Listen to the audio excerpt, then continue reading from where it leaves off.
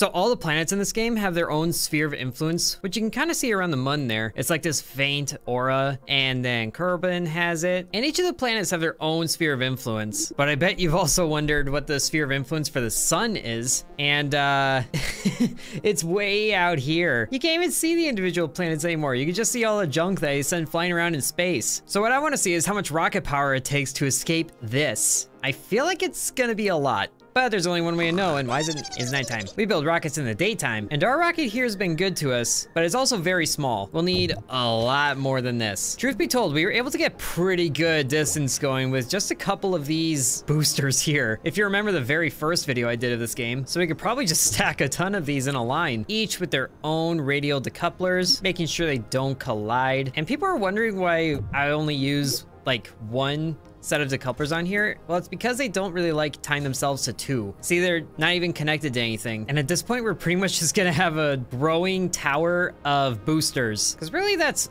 all we need to make this work, I think. We'll be able to save on a ton of weight, as well as just have, oh my gosh, what is happening here? As well as just have an enormous amount of thrust, with one lucky Kerbal to make the journey. Who's that gonna be? Is gonna be Bob. Good job, Bob. I guess he survived that Dres adventure after all. This actually doesn't seem too bad. All we need are a ton of nose cones for these things, and I mean a lot of nose cones, and then maybe some little Separatrons to help these things fly away better because they worked so good before. And now that our rocket is properly peppered with Separatrons, we have to tie all this down. Thankfully, that is very easy to do, and there definitely won't be anything catastrophic that happens. If I tell myself this now, it's probably going to come true later. Also, the symmetry mode is a lifesaver. I'm pretty sure everybody knows this, but I'm saying it anyway. Okay, I think that's enough struts to go around. And uh, just to be safe, there's gonna be a lot of these on pretty much every corner because I do not want this thing wiggling itself apart on the launch pad. Also, oh no, all the Separatrons grouped together. Ah, be right back. A few minutes later. Okay, that was about 10 minutes of tediousness, but everything should be good to go. Okay, it's looking really stable right now. I have no idea how much control this is gonna have, but that shouldn't matter because we're just going straight away. And so we burn, oh my gosh, that is heavy. It is taking so much to get this off the ground, but we're starting to accelerate, so that's a good sign. And these medium boosters should burn for a good while, but man, oh man, that is slow. We also accidentally kind of made the biohazard symbol, so that should be a good sign. The first stage is already halfway through, and we're not even out of the first layer of the atmosphere. Wow. I wonder if I can at least get past one of the planets using this janky setup. Like if we could get out to Dres, I think that'd be a good sign. And now the first stage is almost done. All right, so we separate and then they all fly away. Ooh, I like that. And then we burn some more. Oh, that, that is satisfying right there. And that is getting us a lot better accelerate. Well, actually, no, the acceleration is pretty slow right now, but we're still getting a lot of altitude, so we're just pushing this up and out. We should be getting a lot more acceleration. Whoa, hold up, hold up. Okay, you need to you need to stop twisting there, buddy. Okay, come back around. Burn prograde. There we go. As I was gonna say, we should be getting a lot more acceleration once we leave atmosphere because there's a lot less drag. And yeah, that is going up a little bit faster. The rocket is also slowly spinning back and forth. Not sure what's causing that, but also the acceleration is a lot slower than I wish it was. But we'll see how it goes. So we separate this one. Those fly away beautifully. And then we burn some more. Oh, whoa, whoa, a little bit of shuddering there. And that's getting a lot more acceleration. How does it look on the here? Okay, wow. We're not even pushing out of the, you know, Kerbin orbit here. I guess it would be easier if I started to do like an orbit burn over at the apoapsis, but I was able to do this before by just pushing straight out. So I wouldn't think it'd be too much different. These are bigger boosters after all. Okay, getting a lot more speed now, that's good. And this is also me doing this without any tilting, so I'm not getting any orbit assistance, which I'm sure is upsetting a lot of you. But now we're on to the last stage. Oh, I love the, how well those Separatrons work. It's beautiful. But we'll just push this way as much as we can and see where that gets us. All right, so that is the last booster with some pretty interesting results. But the big takeaway from this is we do not have enough energy to get out of here. So I think the biggest thing that was holding it back was the weight. So is there a lighter fuel that we could use? These Methalox tanks are really heavy. Wow. 36 tons on that one. Uh, how's the hydrogen? That's relatively light compared to all of the other things. Let's see, a large tank of this size is nine tons, and a large tank of similar size is, wow, 81. And each of these medium boosters are, what? 144 tons? I had no idea. So if there are some good hydrogen thrusters, then I think we can replace a lot of these with that. Just have a whole bunch of these once we get into space. So then what do we replace on here? I'm thinking the first stage can stay, but we'll need to replace a lot of these middle ones. Strip this off of the main command pod. Maybe just... Maybe we can use this. That is so weird, but how heavy is that? 56? Even one of these is lighter than one of the boosters. That's ridiculous to think about. But hey, why not? Let's just send a gumball into space. The aerodynamics are really not gonna like this. But we are gonna need a docking port on the bottom here, and then an adapter going from here to here. Oh my goodness, this is, this is probably, I don't know how else is gonna go. What's the engineer's report say? This thing is 2,400 tons, but it still has a good thrust to weight ratio, so it will leave the launch pad, and everything else should be the same with the subtle addition of a gigantic gumball. So let's do it. Oh my gosh. it is really struggling. And that thing is wobbly. This is where rocket science meets mad science. And it is so wobbly, but it's still going straight up. But it is fighting for dear life to stay on a good trajectory. Like, just look at it right now. It's circling around the prograde point because that's the path it's doing. I have to look for straight up. Yep. Oh, poor Bob. Although we also pretty much like tripled our Delta V, so that's a good thing. Okay, we passed 7,000 feet. I'm really scared about tilting this thing, so I'm probably not going to. Like, it's bad enough this thing is just trying to stay straight up doing its own thing, okay? And then we separate. Those all fly away beautifully. Then we keep going and still go straight up. I hope you do. It's really cool seeing those things fly away. It's almost like synchronized swimming, but rockets. And this thing should be wobbling a lot less now that there's a lot less air resistance. And now we are, whoa, hold on, hold on. Don't go radial. Oh, okay. The switch point is right here. I keep forgetting about that. But now we can burn prograde. Our apoapsis is about to leave the range of this meter here. There we go. And then we'll burn the rest of this. And oh gosh, it's still wobbling. We're actually doing pretty good. So that's done. But before we split off, well, I guess we are almost to the apoapsis, so we could still burn and decouple. And then once we get right around there, I probably should have put a reaction wheel in here. I'm trying to control a lot of weight right now, but we're getting real close to apoapsis, so let's start burning again. And now there's next to no wobble. Oh,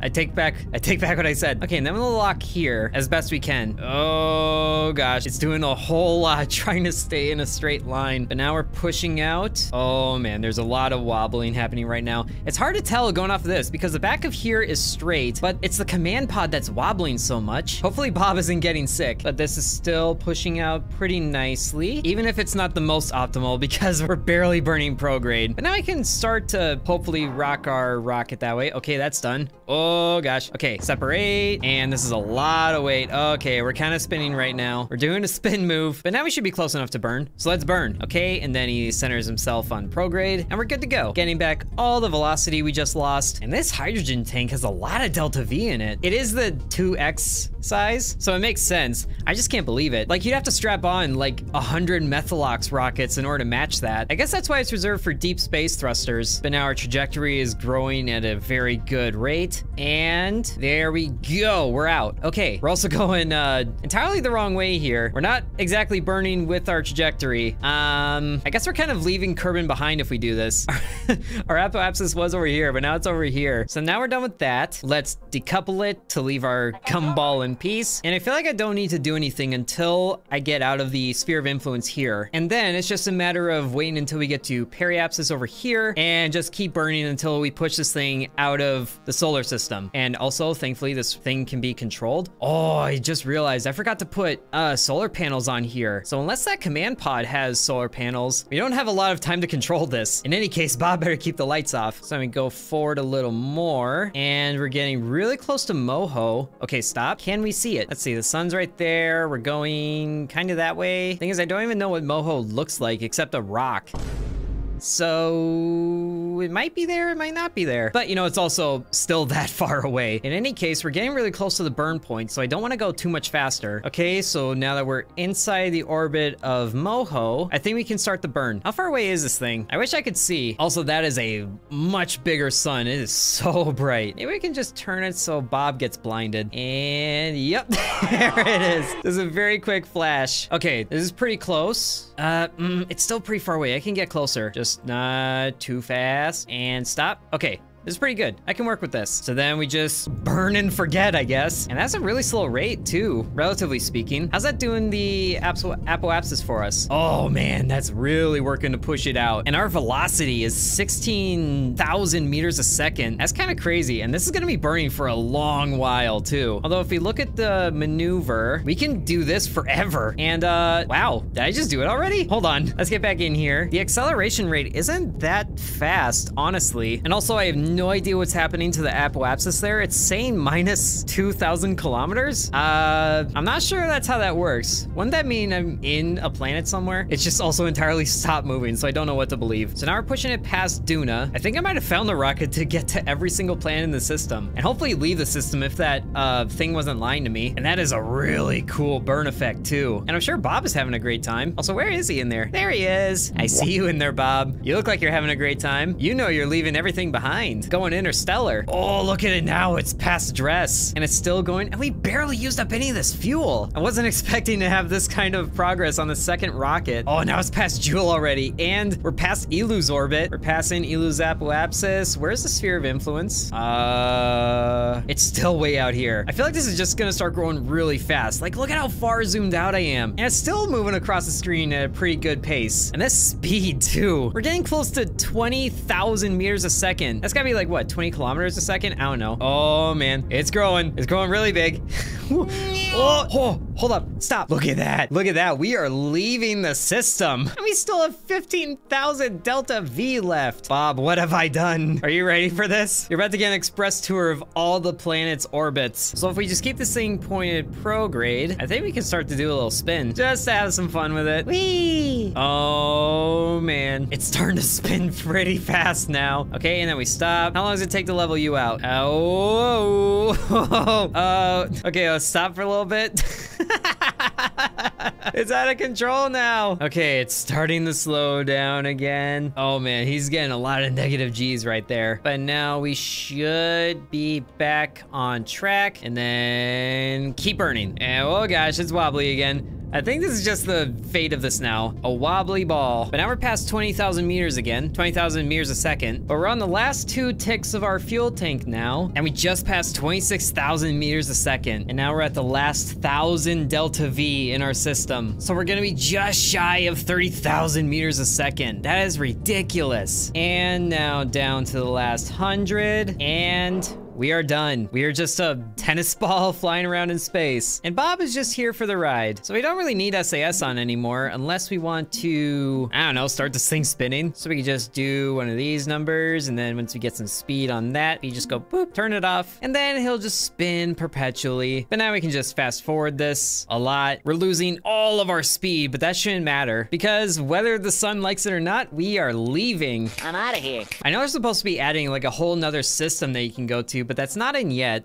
Although I feel like, oh, there we go. We just lost communication range. But I feel like if you had to get there, this would be one of the ways to do it. Kermans don't need to eat or sleep, do they? So I guess it is just a little bit past Duna where we lose connection. And now we're gonna go past the orbit of Jool. Bob's one eyeball is just getting baked out of his skull. And now we're there, here it is. We're passing the orbit of Eeloo, and there it's gone. Oh my gosh, hold on, hold on. Look at how small the sun is. That's just a pinprick. Wow. And it hasn't even been a year yet. Like, not gonna lie, that's one of those things that gives me paranoia, is just being stranded in deep space with like no way of getting anywhere. That's what Bob is living right now. You're a lot braver than I am, Bob. But now that we're past the orbit of Eeloo, where's the edge of the sphere of influence? Well, it's uh, it's way out here. So I think when this game finally does add the extra system and we unlock interstellar travel, everybody's gonna look back on what Bob has done here today as the control to the experiment. Cause uh, he is at least 73 years old now. So I think I might just leave Bob here to be, you know, in his own headspace,